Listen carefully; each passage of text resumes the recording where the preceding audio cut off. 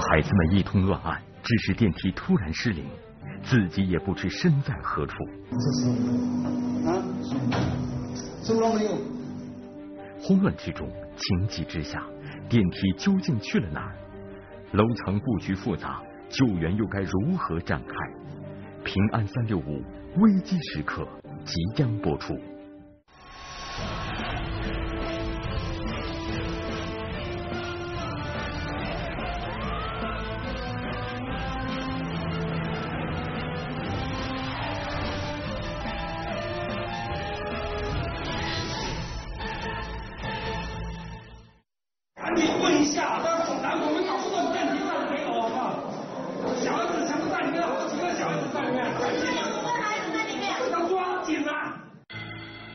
眼前的这一幕发生在二零一四年三月二十二日，福建省龙岩市新罗区某大酒店内，有多人被困在电梯里，其中有大人，有小孩。由于当天在酒店大堂举办晚宴，人员杂乱，所以在场人员的相关信息很难确定。情绪十分激动的几个人，应该是被困孩子的家属，加之喝了些酒，情急之下与酒店人员产生了一些摩擦。五名小孩子，还有两个大人，带着这帮小孩子坐电梯，电梯忽然之间被卡住，然后停在半空中。卡到那所有是在那边了，出不来了。小孩子在里面要来了，大人太激动了，就不来哭了，哭怎么了？福建省龙岩消防支队特勤中队赶到现场时，酒店的保安正在搜索电梯所停靠的层数，准备实施营救。老队，老队，修电梯的师傅跟着民警在这边，他把这个电梯门打开了。当天的监控录像可以看到，在电梯里有两名大人和五个小孩，而通过他们按的楼层来看，应该是在高层。可再仔细观察，发现当电梯失灵后，其所停靠的层数已经是不显示了。那电梯到底去了哪一层呢？那不能吗？在几在几层师傅？现在反正那不能。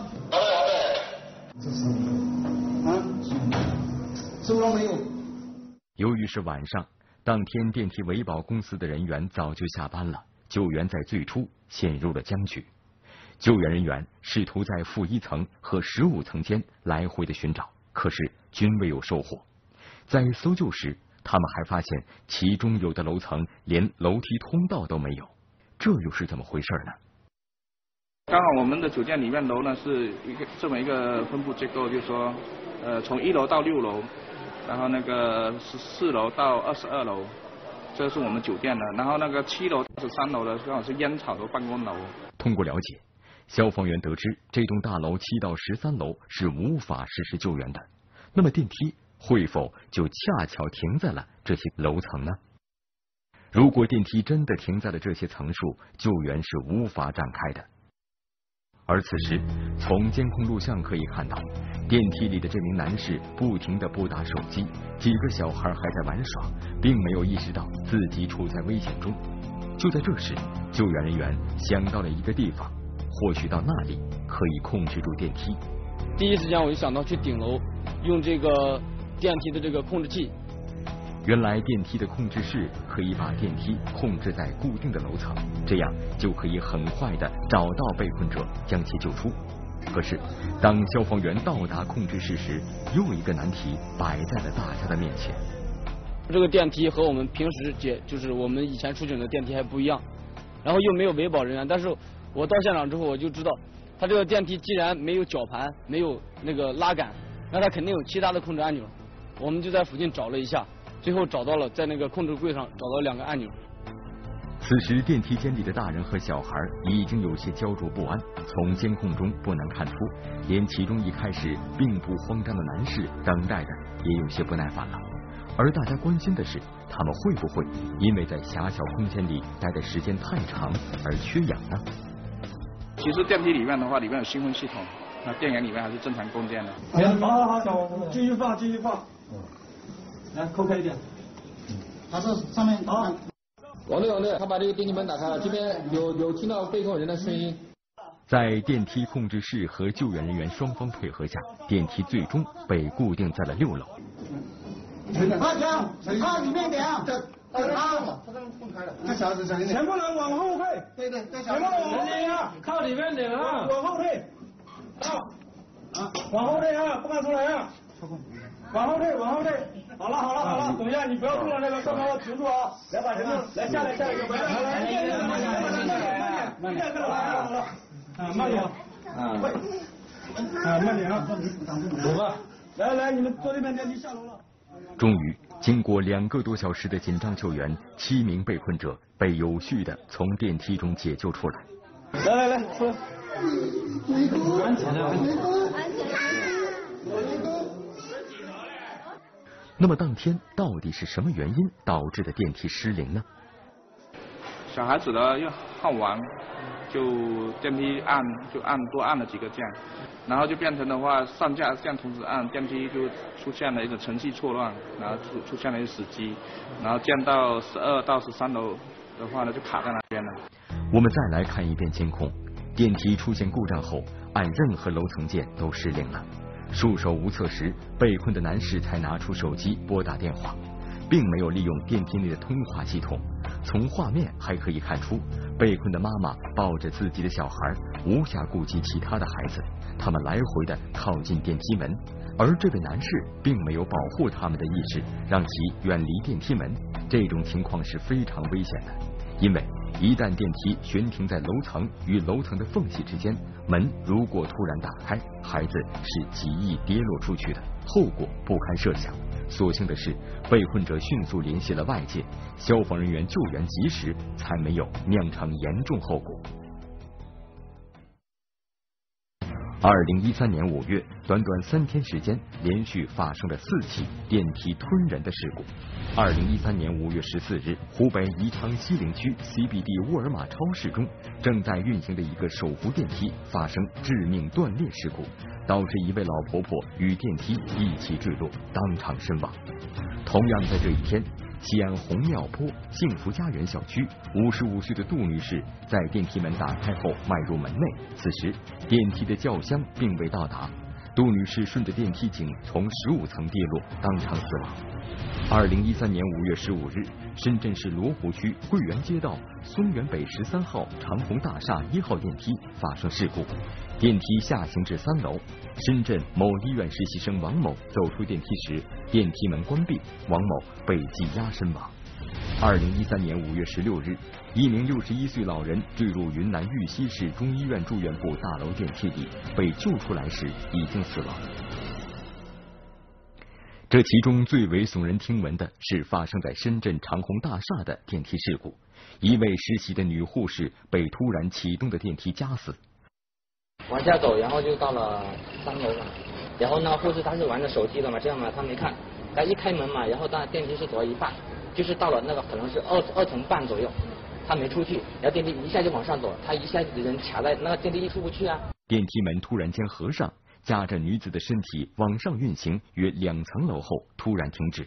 有个人他想去拖，他拖不住，一身都是血嘛，我我的衣服都我都换了，他就又卡了大概有三十三十秒左右吧，然后电梯不动，然后电梯又好了，又往下走，然后然后往下走的时候，那人呢直接又卡了卡上，然后就直接掉到电梯里来了，好像他这里都他颈都可能是断了。血的教训让我们警醒，触目惊心的事故让我们重新审视自己的行为。在此，平安三六五提醒大家，在平时就应该注意乘坐电梯的安全常识，比如电梯超载不得强行进入，进入电梯不能吸烟，电梯即将关门时勿用手去阻挡，小孩子不能单独进入电梯，要有大人陪同。小孩随意按动电梯钮的时候，家长更要告诫其不能这样做，以免造成电梯程序错乱和死机。一旦发生意外，不要惊慌失措。电梯内有空气循环系统，一般情况下会正常供电。电梯里边自带的通话系统是可以跟电梯管理中心保持联系的，要镇定，及时准确的报警求救。那么电梯一旦发生下坠，我们应该怎么办呢？在这里给大家示范几个电梯下坠时的自我保护动作。第一步，不论有几层楼，赶快把每一层楼的按键都按下。第二步，将背部跟头部紧贴电梯内墙成一条直线。小提示：如果电梯内有把手，请一只手紧握把手。第三步，膝盖弯曲，踮起脚跟，这样可以起到缓冲的作用，减少坠地时对身体产生的巨大冲击力。电梯事故年年频发，安全隐患处处可见。自觉遵守电梯乘坐行为规范，随时把自己的行为与他人和自己的生命安全联系在一起。有时就是一点小常识，可能就会在危险发生时挽救我们的生命。一声巨响，地动山摇。几分钟的时间，好，轰啊轰的就说这个外头那个就倒起下来。转眼居民楼前一片狼藉。是吧？有人知道过没得？是突如其来的地震，还是楼体即将垮塌？居民楼内到底又有多少人被困其中？平安三六五危机时刻正在播出。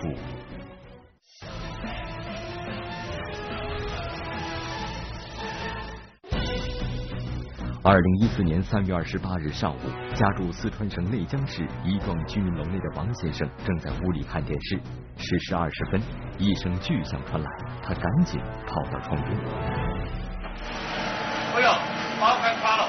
眼前的一幕顿时让他惊呆了，大片的宝坎向地面倾斜。还没缓过神来，又一阵猛烈的巨响接连传来，窗外地动山摇。灰尘起了。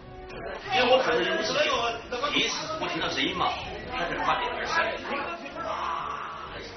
王先生所提到的宝坎，就是指的楼前这段围墙，俗称挡土墙。在我们四川有很多类似的宝坎，它主要是由石头堆砌而成，或者是水泥浇灌而成，它主要是防止泥土流失，起一个加固的作用。由于担心宝坎会再次垮塌，并对所住居民楼产生威胁，居民们立即报了警。十点四十分，距离宝坎垮塌仅二十分钟的时间，四川省内江市消防支队就赶到了现场。到达现场时，倒塌的宝坎前聚集了大批的围观人员，消防员立即拉起了隔离警戒线，划出救援区域，避免宝坎再次发生垮塌，伤及群众。哎，你们就出去，注意安全。把那种所有的住户全把它疏散下来，呃，因为这个马上那个，万一那个要垮下来之后，那个房子又垮塌的。危险。那你看到可能隔间隔可能只有几分钟的时间，好，轰啊轰的。就说那个外头那个就倒起下来。你看到的。时候啊，有人知道过没得？没看到人，垮塌的宝坎其中一段已经大幅度倾斜，只被几根电缆线围住。与地面之间形成一个约四十多度的斜角，大量砖石逼近该楼的一层和二层，而在该楼的五层，一位被困男士站在阳台上，双手紧紧握住防护栏，现场有群众正在对其进行情绪安抚。他害怕再落下来，你就先问一下嘛，统计下究竟有好好几个人，好，然后再联系，啊。通过询问知情人和我们现场勘查，诶，了解到一单元大概有六七名同志，有六七名群众被困，然后其中还包括一名孕妇。由于宝坎垮塌，砖石将居民楼楼道堵住，消防员只能通过另一个楼道展开救援。从二单元进入楼顶之后，消防员发现通往一单元住户家的铁门被封死了，便立即用无齿锯等救援工具将其切割。一、二、四、二个，走，走，大家走了，身上面，一起下来，好。到达被困者所在的单元楼之后，消防员立即采取逐屋搜寻的方式寻找被困者。首先找到了这名孕妇，很快其他七名被困者也被找到，但是要想将他们送到楼下转移到安全地带，他们必须要翻越这段空隙很小的隔墙，这无疑给救援增加了很大的难度。两万我给拿出去，小心肚子一点。慢点啊！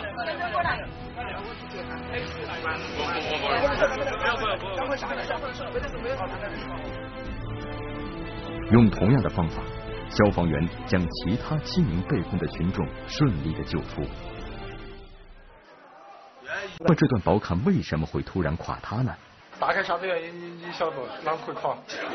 但是我分析呢，很可能是上的是阴的。昨天晚上下一晚大雨啊，因为二十二年修这种房子，九二年将近修宝坎。据目击者分析，这幢居民楼建成有二十二年，对面的宝坎和居民楼是一起修建的。二十七日夜里的大雨，让原本已并不太牢固的这片宝坎突然垮塌。如今，随着城市的扩建与改造，曾经的宝坎并不多见，只是一些老旧小区前还会存在。但因其建造年份都相当久远，很多宝坎都十分不坚固了。而年久失修的宝坎，一旦遇上大风暴雨等极端天气，就很容易发生危险，对周围的群众生活造成极大的威胁。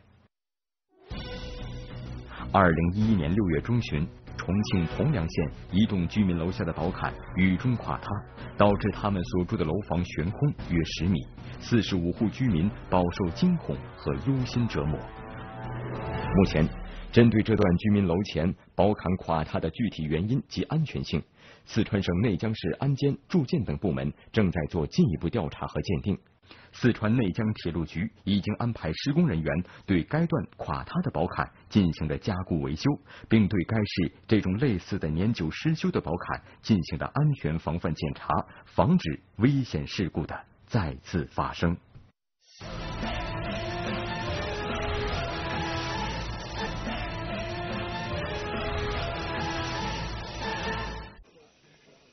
二零一四年九月十一日晚上七时许。江苏省如皋市城西村一名小男孩欲跳楼轻生。江苏省如皋市消防中队接到报警后，立即赶赴现场救援。轻生的男孩将屋内的房门反锁，坐在三楼的窗台边，情绪激动。消防队员决定破门救人。为了防止强行破门救援时男孩受到刺激跳楼，消防队员首先利用安全绳空降至三楼，将男孩室外的防盗窗锁住。然后从屋外将房门踹开，救出了男孩。据了解，男孩是由于学习压力过大导致了轻生的念头。在此，平安三六五提醒各位家长，平时应注意培养孩子健康的心理素质，提高情绪自控能力。